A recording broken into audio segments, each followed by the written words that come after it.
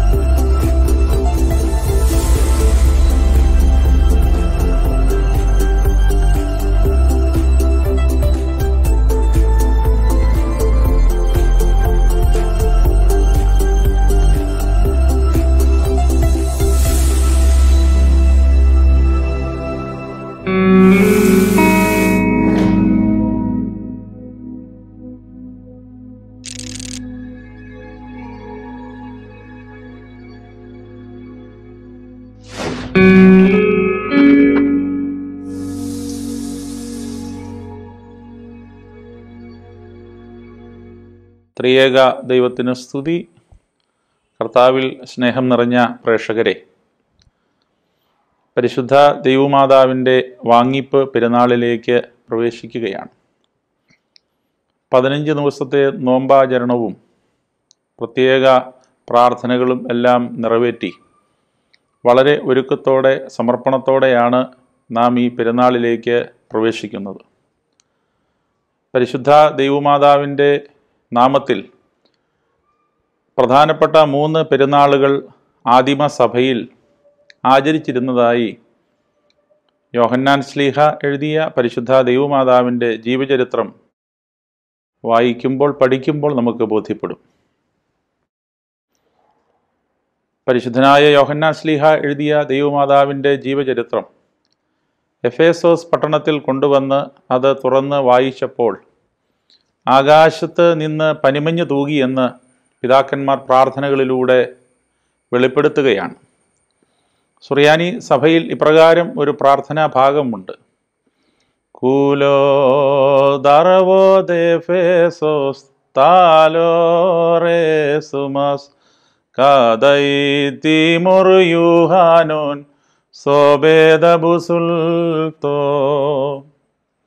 പരിശുദ്ധ ദൈവമാതാവിന്റെ ജീവചരിത്രം എഫേസോസിൽ ആഘോഷപൂർവം കൊണ്ടുവന്ന് അത് തുറന്ന് വായിച്ചപ്പോൾ ആകാശത്ത് നിന്ന് പനിമഞ്ഞ് തൂകി. ആ ജീവചരിത്രത്തിൽ പരിശുദ്ധ അമ്മയുടെ നാമത്തിൽ ആഘോഷിക്കപ്പെടുന്ന മൂന്ന് പെരുന്നാളുകളെക്കുറിച്ച് പരാമർശിക്കപ്പെട്ടിരിക്കുന്നു. ഒന്നാമത്തെ പെരുന്നാളാണ് ജനുവരി പതിനഞ്ചാം തീയതി ആഘോഷിക്കുന്ന പരിശുദ്ധ ദൈവമാതാവിനെ പ്രതി വിത്തുകൾക്ക് വേണ്ടിയുള്ള പെരുന്നാൾ. രണ്ടാമത്തെ പെരുന്നാളാണ് മെയ് മാസം പതിനഞ്ചാം തീയതി ആഘോഷിക്കുന്ന പരിശുദ്ധ ദൈവമാതാവിനെ പ്രതി കതിരുകൾക്ക് വേണ്ടിയുള്ള പെരുന്നാൾ. മൂന്നാമത്തെ പെരുന്നാളാണ് ഓഗസ്റ്റ് മാസം പതിനഞ്ചാം തീയതി ആഘോഷിക്കുന്ന പരിശുദ്ധ ദൈവമാതാവിനെ പ്രതി മുന്തിരി തണ്ടുകൾക്ക് വേണ്ടിയുള്ള പെരുന്നാൾ. ഈ മൂന്ന് പെരുന്നാളുകളും മാസത്തിന്റെ മധ്യഭാഗത്താണ് വന്നിരിക്കുന്നത് എന്നുള്ളത് ഒരു പ്രത്യേകത തന്നെയാണ്. എന്നാൽ മൂന്നാമത്തെ പെരുന്നാൾ അഥവാ മുന്തിരിത്തണ്ടുകൾക്ക് വേണ്ടിയുള്ള പെരുന്നാൾ അതുമാത്രമാണ് പതിനഞ്ച് ദിവസത്തെ നോമ്പാചരണത്തോടുകൂടി പരിശുദ്ധ സഭാമക്കൾ ആഘോഷിക്കുന്നത്. അത്രയും വലിയ ശ്രേഷ്ഠതയും മഹത്വവും എല്ലാം തന്നെ ആ പെരുന്നാളിന് ഉണ്ട് എന്ന് ഈ നോമ്പനുഷ്ഠാനവും ഒരുക്കവും എല്ലാം മുൻനിർത്തി ചിന്തിക്കുമ്പോൾ നമുക്ക് ബോധ്യമാകും.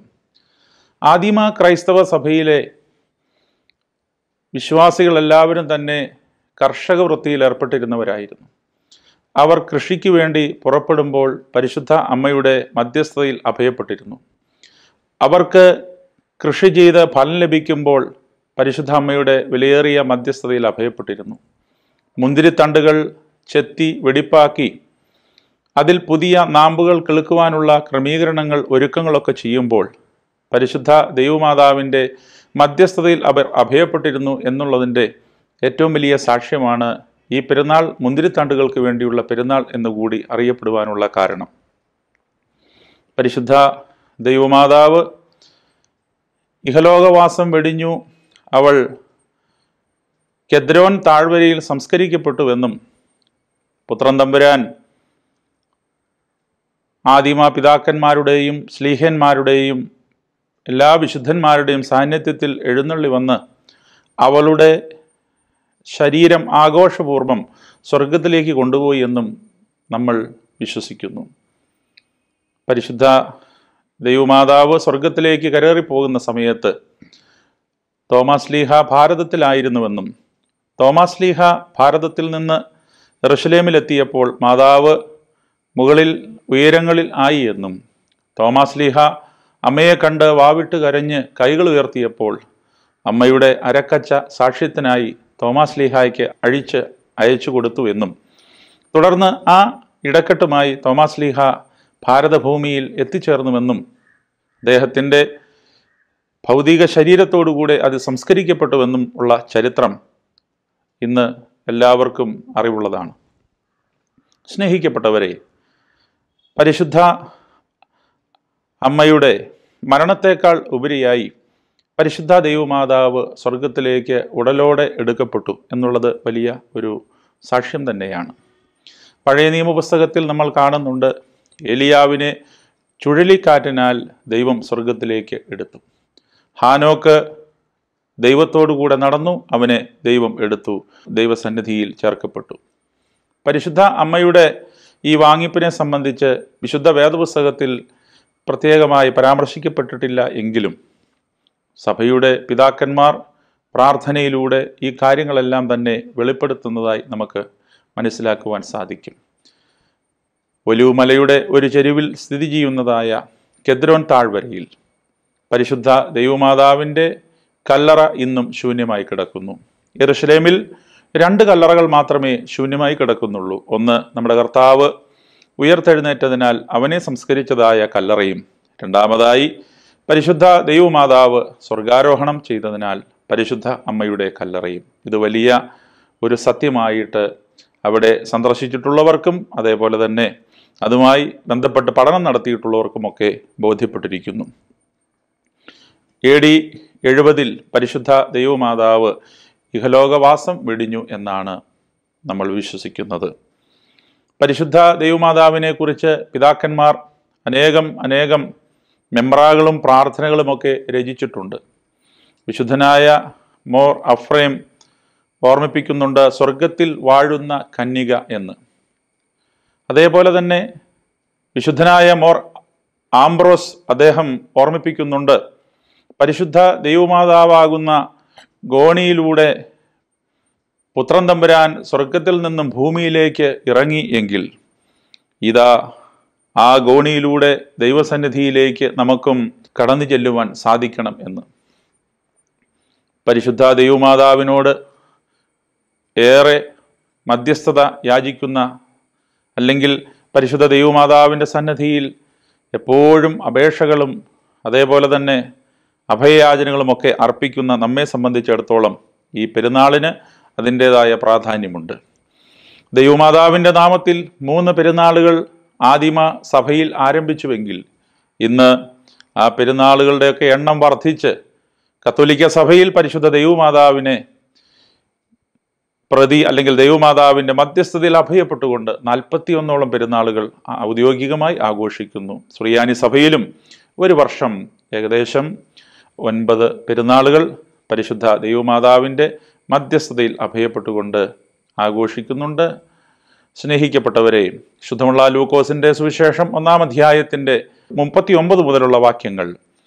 വായിക്കുമ്പോൾ നമുക്കറിയാം പരിശുദ്ധ ദൈവമാതാവിന്റെ പാട്ട്. അമ്മ പാടുകയാണ്. കണ്ടാലും ഇതു മുതൽ സകല വംശങ്ങളും തലമുറകളും എന്നെ ഭാഗ്യവതി എന്ന് കീർത്തിക്കും.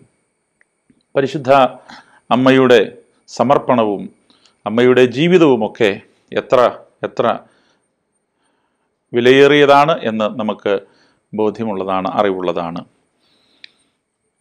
യേശയ്യ പ്രവചന പുസ്തകത്തിൽ നമ്മൾ വായിക്കുന്നുണ്ട് പറ്റമ്മ മറന്നാലും ഞാൻ നിന്നെ മറക്കുകയില്ല.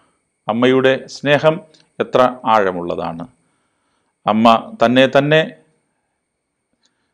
കർത്താവിന് ഈ ലോകത്തിൽ തന്റെ മനുഷ്യാവതാരം പൂർത്തീകരിക്കുവാൻ വേണ്ടി സമർപ്പിക്കുകയാണ്. പരിശുദ്ധ ദൈവമാതാവ് ബാല്യകാലം മുതൽക്ക് തന്റെ ജീവിതം ദേവാലയത്തിൽ സമർപ്പിച്ചു. ദേവാലയത്തിൽ അവൾ വളർന്നു. ആരാധനയുടെ തീഷ്ണതയിൽ അവൾ വളർന്നു. ആധ്യാത്മികമായ ചൈതന്യം എന്തെന്ന് അവൾ ദേവാലയത്തിൽ നിന്ന് മനസ്സിലാക്കുകയും അതിന് വിധേയപ്പെട്ട് അവൾ ജീവിക്കുകയും ചെയ്തു. മാതാവിന്റെ ഓർമ്മ വെച്ച നാൾ മുതൽ പതിനാല് വയസ്സ് വരെയുള്ള പ്രായം. ആ കാലഘട്ടം അത് ദൈവം അവളിൽ പ്രസാദിക്കുവാൻ മുഖാന്തരമായി തീർന്നു. സ്നേഹിക്കപ്പെട്ടവരെ ഈ പെരുന്നാളിൽ നാം ഭാഗവാക്കുകളാകുമ്പോൾ ദേവാലയത്തോടുള്ള നമ്മളുടെ ബന്ധം എപ്രകാരമെന്ന് ആഴത്തിൽ ചിന്തിക്കുവാനും വിശകലനം ചെയ്യുവാനും ഒക്കെ നമുക്ക് ഇടയാകണം. ദേവാലയം നമ്മളുടെ മനസ്സിനെയും ചിന്തകളെയും സർവതിനെയും ദൈവീകമാക്കി തീർക്കുന്ന ഒരു വലിയ ഇടം തന്നെയാണ്. അതുകൊണ്ടാണ് പിതാക്കന്മാർ പ്രാർത്ഥിക്കുന്നത് ബഹുമതിപൂർവം ഞാൻ നിന്റെ ഭവനത്തിലേക്ക് പ്രവേശിച്ച് എന്റെ നേർച്ചകളെ കഴിക്കും. അത് നമ്മളെ തന്നെ പൂർണമായി സമർപ്പിക്കുന്നതായ ഇടമാണ് ദേവാലയം. ദൈവമാതാവിന്റെ ജനനം മുതൽ അവളുടെ മരണം വരെയും അവൾ ദൈവത്തിന് വിധേയപ്പെട്ടുകൊണ്ട് ജീവിച്ചു എന്ന് നമുക്ക് മനസ്സിലാക്കുവാൻ സാധിക്കും. അതുകൊണ്ടാണ് മറിയാമെന്ന വാക്കിന് തന്നെ അർത്ഥം സുഗന്ധം വമിക്കുന്ന കടലെന്നും കൈപ്പേറിയതായ കടൽ എന്നും മറിയാമിന്റെ ജീവിതത്തിൽ അനേക കൈപ്പേറിയതായ അനുഭവങ്ങളുണ്ടായി. എന്നാൽ ആ കൈപ്പേറിയ അനുഭവങ്ങളെ എല്ലാം തന്നെ പലർക്കും സുഗന്ധം വമിക്കുന്ന അനുഭവത്തിൽ അവൾ ആക്കി തീർക്കുകയാണ്. ദൈവവചനത്തിന് അവൾ കീഴടങ്ങി ജീവിക്കുകയാണ്. ഏലിശുബായുടെ ഭവനത്തിൽ ചെല്ലുമ്പോൾ ഏലിശുബ അവളെ പ്രകീർത്തിച്ചുകൊണ്ട് ഉച്ചസ്വരത്തിൽ വിളിച്ച് പറയുന്നുണ്ട് എന്റെ കർത്താവിന്റെ അമ്മ എന്റെ അടുക്കൽ വരുവാനുള്ള ഭാഗ്യം എനിക്ക് എവിടെ നിന്ന് ഉണ്ടായി എന്ന്. ഇതാ മറിയാം ഏറെ വിനയപ്പെട്ടുകൊണ്ട് എലിശുബായുടെ സന്നിധിയിൽ അവളുടെ അടുക്കൽ അവളെ ശുശ്രൂഷിച്ചുകൊണ്ട് നാളുകൾ കഴിച്ചുകൂട്ടുന്നതായി നമ്മൾ കാണുകയാണ്. ദൈവവചനം അവൾ ആചരിച്ചു. ദൈവവചനം അവൾ ഹൃദയത്തിൽ സംഗ്രഹിച്ചു. ഈ വിശുദ്ധിയാർജിച്ച ജീവിതത്തിന് ദൈവം നൽകിയ പ്രതിഫലമായി അവൾ സർവതും അവൾ കാണുകയാണ്. സ്നേഹിക്കപ്പെട്ടവരെ ഇന്ന് മനുഷ്യൻ ലോകമോദങ്ങൾക്ക് വിധേയപ്പെട്ടുകൊണ്ട് പലപ്പോഴും അടിമപ്പെട്ടുകൊണ്ട് ജീവിക്കുകയാണ്. ദൈവത്തെ ഹൃദയത്തിന്റെ ഒരു കോണിൽ മാത്രം നാം ആക്കി വച്ച് പലപ്പോഴും ലൗകികമായ ആദായങ്ങൾക്കും മോദങ്ങൾക്കും സ്ഥാനമാനങ്ങൾക്കൊക്കെ വേണ്ടി നമ്മൾ നെട്ടോട്ടം ഓടിക്കൊണ്ടിരിക്കുന്നു. ഈ പരക്കമ്പാച്ചലിൽ പലപ്പോഴും പ്രാർത്ഥിക്കുവാനും ദൈവവചനം എന്തെന്ന് അറിയുവാനും ധ്യാനിക്കുവാനും ഒക്കെ സമയമില്ലാതായിത്തീരുന്നു. ഇങ്ങനെയുള്ളവരുടെ ജീവിതത്തിൽ മറിയാമിന്റെ ജീവിതം വലിയ ഒരു സാക്ഷ്യമായി തീരണം എത്ര തിരക്കിനിടയിലാണെങ്കിലും അമ്മ എപ്പോഴും ദൈവവചനത്തിന് വിധേയപ്പെട്ടുകൊണ്ട് ജീവിച്ചു. കാനാവിലെ കല്യാണ ഭവനത്തിൽ വെച്ച് വീഞ്ഞു തീർന്നു പോയി എന്ന് കൂടെയുള്ളവർ വന്ന് അമ്മയോട് സങ്കടം പറഞ്ഞപ്പോൾ അമ്മ പറഞ്ഞു എന്റെ മകൻ എന്തു ചെയ്യും? എന്റെ മകൻ എന്ത് പ്രവർത്തിക്കും അത് നിങ്ങൾ ശ്രദ്ധിച്ചു കൊള്ളുവിൻ. അവൻ എന്ത് കൽപ്പിക്കും അത് നിങ്ങൾ അനുസരിച്ചു കൊള്ളുവിൻ. സ്നേഹിക്കപ്പെട്ടവരെ അമ്മയുടെ ദൈവത്തോടുള്ളതായ വിധേയത്വം എത്ര എത്ര സമർപ്പിതമായിരുന്നു എന്ന് ഈ ഭാഗങ്ങളൊക്കെ മുൻനിർത്തിക്കൊണ്ട് ചിന്തിക്കുമ്പോൾ നമുക്ക് ബോധ്യപ്പെടും. അതേപോലെ തന്നെ പരിശുദ്ധ ദൈവമാതാവിന് ലഭിച്ചതായ വലിയ ഭാഗ്യം പിതാക്കന്മാർ പ്രാർത്ഥനകളിലൂടെ ഇപ്രകാരം ഓർമ്മിപ്പിക്കുന്നുണ്ട്. മറിയാമിന് തന്റെ മകനെ പുത്ര എന്നും അതേപോലെ തന്നെ തന്റെ മകനെ രക്ഷക എന്ന് വിളിക്കുവാനുള്ള ഭാഗ്യം ലഭിച്ചു. പിതാക്കന്മാർ പ്രാർത്ഥനകളിലൂടെ വെളിപ്പെടുത്തുന്ന ഒരു ഭാഗമാണ് മറിയാമിന്റെ മടിയിൽ യേശുക്കുഞ്ഞ് കിടക്കുന്നു. യേശുക്കുഞ്ഞിന്റെ മുഖത്തേക്ക് മറിയാം നോക്കി ആദ്യം മകനെ എന്ന് വിളിച്ചു. മറിയാം വീണ്ടും എന്റെ രക്ഷക എന്ന് വിളിച്ചു. കാരണം മകനെ എന്ന് വിളിക്കുമ്പോൾ അവൾക്ക് സംശയം ഇതെന്റെ മകനാണോ? ഇതെന്റെ രക്ഷകനാണോ? വീണ്ടും അവൾ രക്ഷക എന്ന് വിളിച്ചപ്പോൾ അവൾക്ക് വീണ്ടും സംശയം ഇത് രക്ഷകനാണോ എന്റെ മകനാണോ? അത്രയും വലിയൊരു ഭാഗ്യം ഈ ലോകത്തിൽ ഒരമ്മയ്ക്കും ലഭിച്ചിട്ടില്ല. പരിശുദ്ധ അമ്മയുടെ ജീവിതത്തെ മുൻനിർത്തിക്കൊണ്ട് ഒരു തീർത്ഥാടനമായി നമ്മളുടെ ജീവിതത്തെ ആക്കി തീർക്കണം. എഫ് എസോസിലുള്ള അമ്മയുടെ ഇളയ ഭവനം കണ്ടാൽ അമ്മ എത്ര നിസ്സാരയായിരുന്നു എന്ന് നമുക്ക് മനസ്സിലാക്കുവാൻ സാധിക്കും. അമ്മയുടെ എളിമ അമ്മയുടെ നിസ്സാരതയൊക്കെ ആ ഭവനം കണ്ടാൽ അറിയുവാൻ സാധിക്കും. ഞാൻ ആ ഭവനത്തിൽ പോയിട്ടുണ്ട്. രണ്ട് ചെറിയ മുറികളുള്ള ഒരു ഭവനമാണ്. ചില വലിയ വീടുകളൊക്കെ കൂതാശി ചെയ്യാൻ പോകുമ്പോൾ അവിടുത്തെ സ്റ്റോർ മുറി കാണുമ്പോൾ ഞാൻ ചിന്തിച്ചിട്ടുണ്ട് എന്റെ ദൈവമേ ഇതിലും ചെറിയ മുറിയിൽ ഇടുങ്ങിയ മുറിയിലാണല്ലോ പരിശുദ്ധ ദൈവമാതാവ് വർഷങ്ങളോളം യോഹന്നാ സ്ലിഹായോടൊപ്പം താമസിച്ചത് എന്ന്. സ്നേഹിക്കപ്പെട്ടവരെ ആ ചെറിയ മുറിയുടെ ഒരു മൂലക്കൽ കൃത്രിമമായി നിർമ്മിച്ചിരിക്കുന്ന കൈകാലുകളും ഊന്നുവടികളൊക്കെ കൂട്ടിയിട്ടിരിക്കുകയാണ്. അവിടെ ഉണ്ടായിരുന്നവരോട് ഞാൻ ചോദിച്ചപ്പോൾ അവരെന്നോട് പറഞ്ഞു ഇവിടെ വന്ന് പ്രാർത്ഥിച്ച് അനുഗ്രഹം പ്രാപിച്ച് അവരുടെ ആ കൃത്രിമമായിരിക്കുന്ന അവയവങ്ങളും എല്ലാം അവർ ഉപേക്ഷിച്ച് അമ്മയിൽ പൂർണമായി സമർപ്പിച്ചുകൊണ്ട് അവിടെ നിന്നും പോയിരിക്കുന്നു. ആ ഭവനത്തിന്റെ അടിയിലൂടെ ഒഴുകി വരുന്ന ഒരു നീരുറവ. അത് അനേകർക്ക് അനുഗ്രഹത്തിന്റെ നീരുറവയായി ഭവിച്ചിരിക്കുകയാണ്.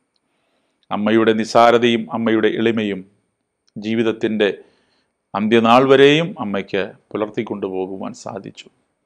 സ്നേഹിക്കപ്പെട്ടവരെ നമുക്കും അമ്മയുടെ ജീവിതം വലിയ ഒരു സാക്ഷ്യമായി തീരട്ടെ എന്ന് വീണ്ടും ഞാൻ ആഗ്രഹിക്കുന്നു പ്രാർത്ഥിക്കുന്നു. അമ്മ കാണിച്ചു തന്ന ആ എളിമയുടെ അനുഭവത്തിൽ ഇന്ന് ഈ ലോകത്തിൽ നമുക്ക് ജീവിക്കുവാൻ സാധിക്കണം. അമ്മ കാണിച്ചു തന്ന സ്നേഹത്തിന്റെയും ത്യാഗത്തിന്റെയും അനുഭവത്തിൽ നമുക്ക് ഈ ലോകത്തിൽ ജീവിക്കുവാൻ സാധിക്കണം. കരുതലിന്റെയും സംരക്ഷണത്തിന്റെയും അനുഭവത്തിൽ നമുക്ക് ജീവിക്കുവാൻ സാധിക്കണം. കുരിശിന്റെ ചുവട്ടിൽ ആ മാതൃഹൃദയം ഇരുന്നു കൊണ്ട് തേങ്ങുന്നുണ്ട്.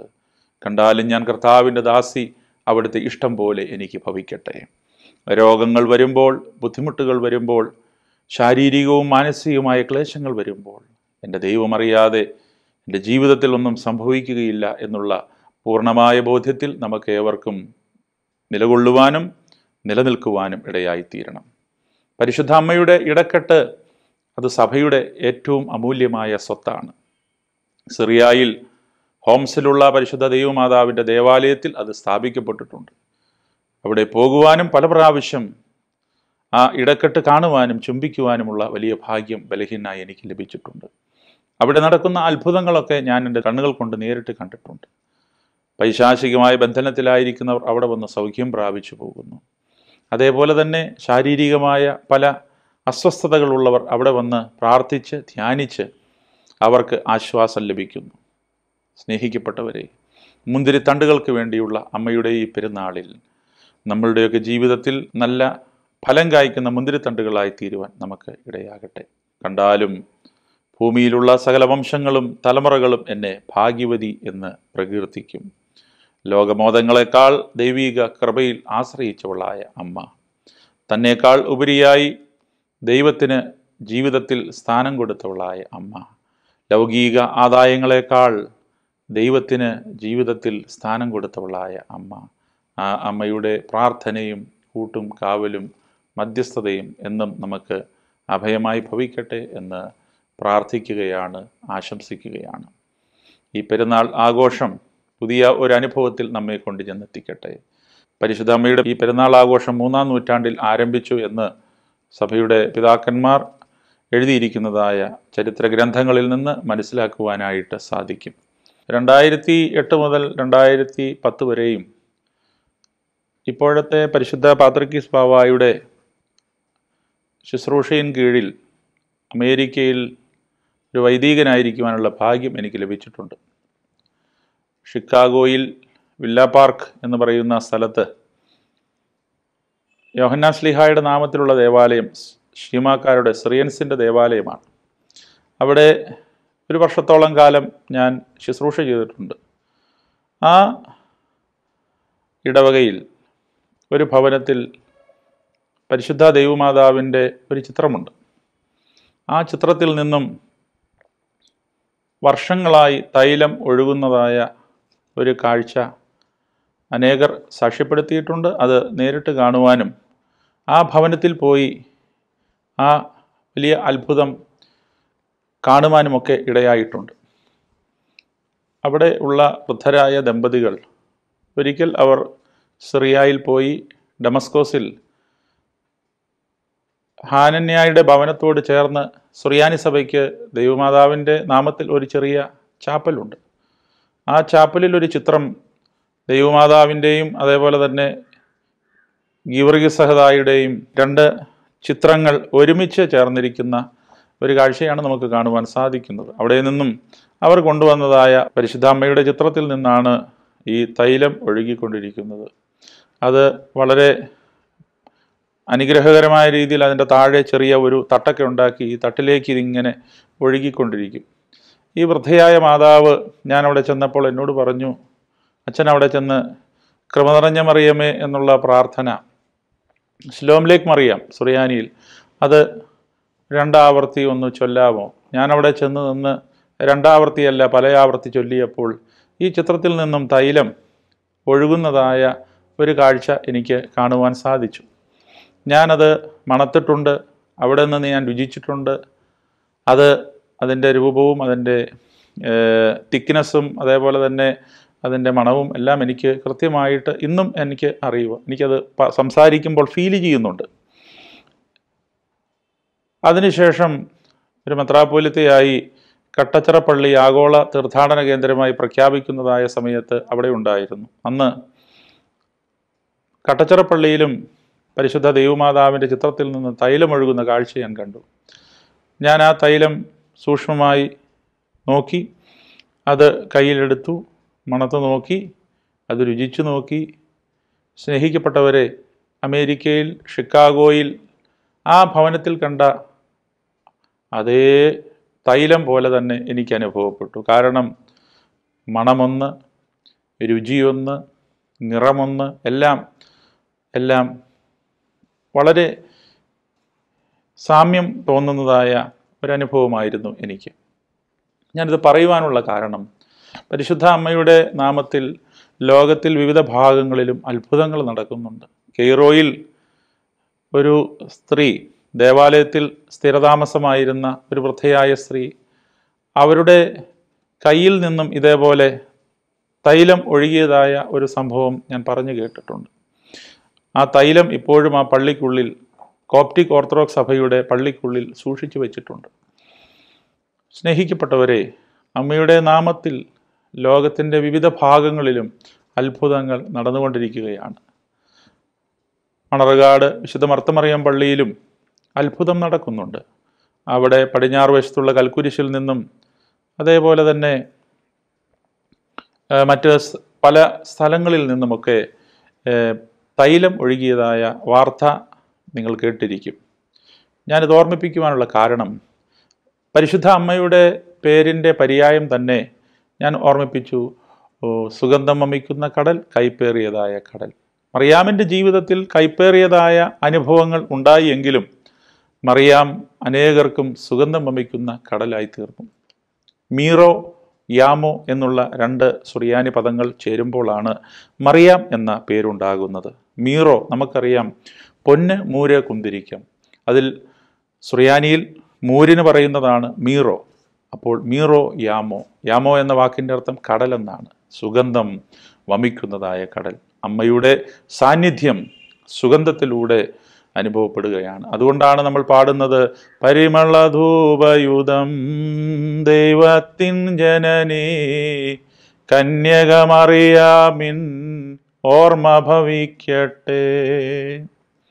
പരിശുദ്ധ അമ്മയുടെ മധ്യസ്ഥതയിൽ അഭയപ്പെടുമ്പോൾ ഒരു സുഗന്ധത്തിന്റെ അനുഭവമാണ്. സുഗന്ധം നിറഞ്ഞു നിൽക്കുന്ന സ്ഥലത്ത് നിൽക്കുന്ന ഒരു അനുഭവമാണ്. പ്രത്യേകിച്ച് പരിശുദ്ധ ദൈവമാതാവിന്റെ ഇടക്കെട്ടിനോട് നമ്മൾ സമീപിക്കുമ്പോൾ ലഭിക്കുന്നതായ അനുഭൂതിയും ലഭിക്കുന്നതായ ആത്മീയ നിറവും നിസ്സാരമല്ല. സ്നേഹിക്കപ്പെട്ടവരെ പരിശുദ്ധ അമ്മയുടെ അടുക്കൽ സമീപസ്ഥരായിരിക്കുവാൻ നമുക്ക് ഇടയാകണം. പരിശുദ്ധ അമ്മയുടെ ജീവിതം വലിയൊരു സാക്ഷ്യമായി ഭവിക്കണം. അമ്മയുടെ ജീവിതം നമുക്ക് വലിയ ഒരു മാർഗദീപമായി തീരണം. ഒരു പ്രാർത്ഥനയിൽ ഇപ്രകാരം നമ്മൾ ചൊല്ലുന്നുണ്ട്. ഇരുൾ നിറഞ്ഞ വഴിയിലൂടെ യാത്ര ചെയ്യുമ്പോൾ ദൈവമേ എന്റെ പാദം ഇടറാതിരിക്കുവാൻ നീ പ്രകാശമായി ഭവിക്കണമേ.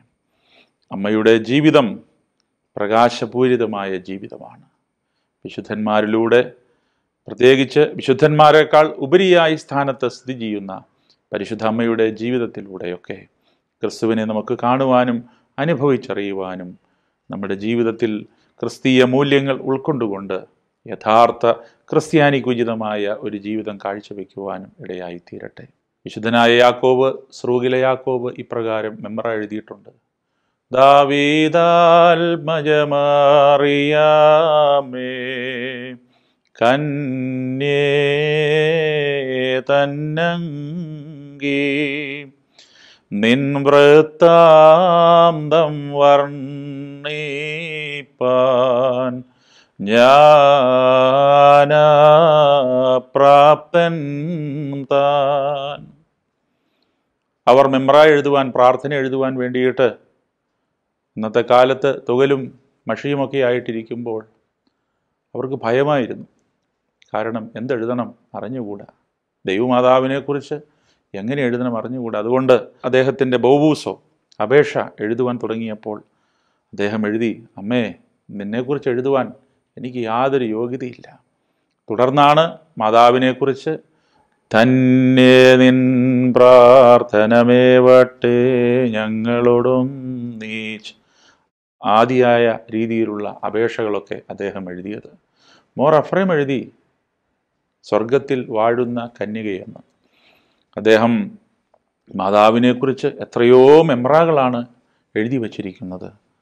അമ്മയെക്കുറിച്ച് അദ്ദേഹമൊക്കെ പരിശുദ്ധാത്മ നിറവിൽ അനേകം പ്രാർത്ഥനകൾ എഴുതി. ആ പ്രാർത്ഥനകളൊക്കെയാണ് പ്രിയപ്പെട്ടവരെ നമ്മൾ ഇന്ന് ഓരോരോ സന്ദർഭങ്ങളിലും ഒക്കെ ചൊല്ലിക്കൊണ്ടിരിക്കുന്നത്. നമ്മൾ ചൊല്ലാറുണ്ട് കർഷകനെ പോൽ ഗബറിയൽ വിതച്ചു നല്ല നിലം തുല്യം അറിയാം കൈ കൊണ്ടാളുതരേ. കൂക്കോയോ. ആ പ്രാർത്ഥനയുടെ ഒരു ഭാഗമാണിത്. മറിയാം നല്ല നിലമാക്കി തീർന്നു അവൾ പ്രാർത്ഥനയിലൂടെ സമർപ്പണത്തിലൂടെ അവളുടെ ഹൃദയം നല്ല നിലമാക്കി തീർത്തപ്പോൾ കർഷകനെ പോലെ ഗബ്രിയേൽ അതിന്റെ ഉള്ളിൽ വിത്ത് വിതച്ചു. അത് കൂടുതൽ ഫലം പുറപ്പെടുവിച്ചു. സ്നേഹിക്കപ്പെട്ടവരെ നമ്മളുടെ ഹൃദയം നല്ല ഹൃദയമാക്കി മാറ്റുക. നല്ല വിത്ത് അതിൽ വന്ന് വീഴുവാൻ ഇടയാക്കുക. ദൈവവചനമാകുന്ന വിത്തിനെ മുളപ്പിച്ച് വളർത്തി അത് കൂടുതൽ അനുഗ്രഹകരമായി തീരുവാൻ ഇടയാകട്ടെ എന്ന് നമുക്ക് പ്രാർത്ഥിക്കാം. പരിശുദ്ധ അമ്മയുടെ മധ്യസ്ഥതയും കൂട്ടും കാവലും ഈ വചനം കേൾക്കുന്ന എല്ലാവർക്കും എപ്പോഴും അനുഗ്രഹത്തിനും ആശ്വാസത്തിനുമായി ഭവിക്കട്ടെ എന്ന് പ്രാർത്ഥിച്ച് നിർത്തുന്നു. ദൈവം അനുഗ്രഹിക്കട്ടെ.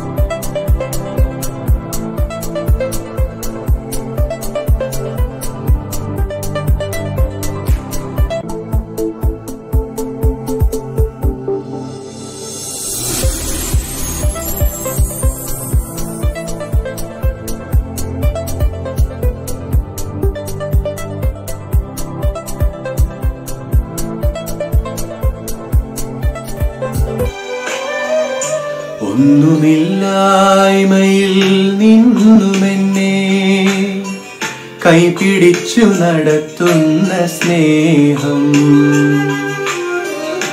എന്റെ വല്ലായ്മകൾ കണ്ടിട്ടെന്നും ആ നെഞ്ചോട് ചേർക്കുന്ന സ്നേഹം. ഒരു കോടി ജന്മമീ ഭൂമിയിൽ തന്നാലും ഒരു കോടി നാ കോടി ജന്മ